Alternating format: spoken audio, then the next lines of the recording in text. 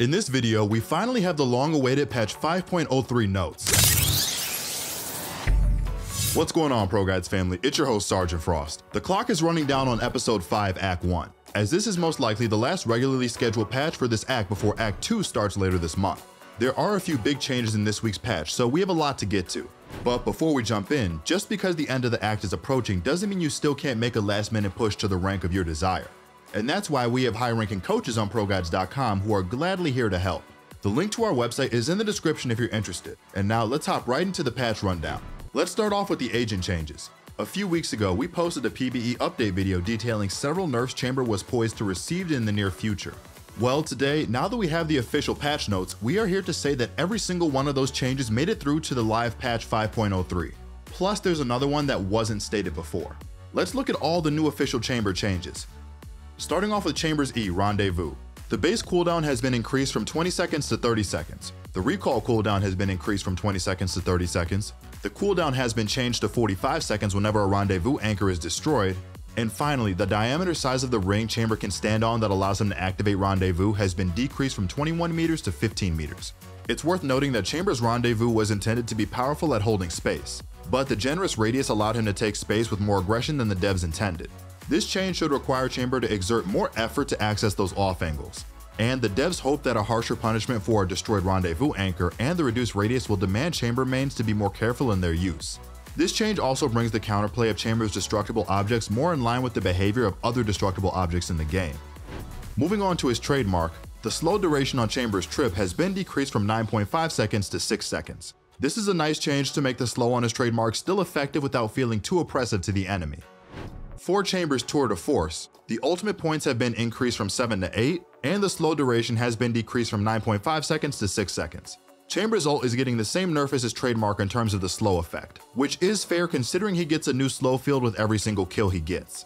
And the ultimate point cost going up on Tour de Force is fine considering he gets the most powerful AWP in the game without any credit investment at all. For the final ability change to his Headhunter, Chambers' bullet cost has been increased from 100 credits per bullet up to 150 now. This is a fair change that makes Chamber players think twice before constantly buying bullets for this thing every round. From a dev perspective, Chamber's Deagle is a powerful sidearm pistol, but at its current price point, Chamber doesn't have to partake in any difficult economic decisions before blindly buying new bullets every round. This change is just trying to get Chambers to think twice before reloading his Headhunter with new bullets every round.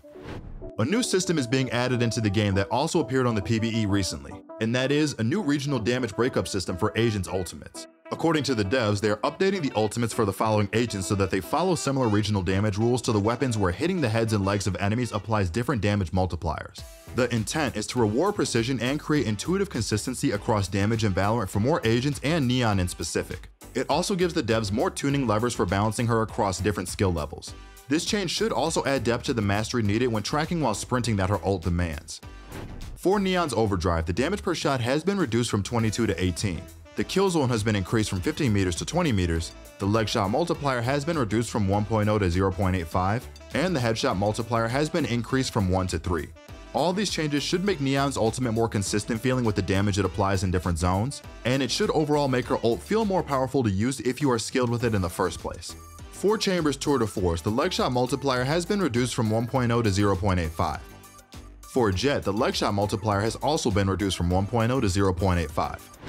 We have some pretty big news from the devs in terms of general updates this patch, as they have detailed some new changes on the updates to the game's Unreal game engine.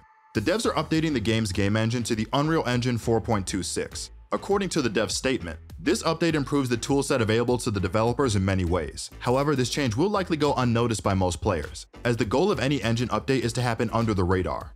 There are some known issues this time around though, mostly the UI is misbehaving. The devs have stated that they are fixing this as quickly as they can, but you can expect some funkiness in the game and in the main menu. If anything interrupts your gameplay, please submit a bug report. This is some pretty substantial news, as updating the game's engine to keep it up with the times is huge and it will affect our gameplay in more ways than we can imagine. And this is great overall for the players as it should improve our overall game experience. For our final general update, the devs are giving the Agent Select screen a visual design update with new animations and artwork.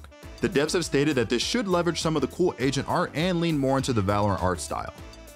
In gameplay system updates, the devs have added the ability to change the ghost keybind outside of custom games. This option is listed under settings, then controls, then actions.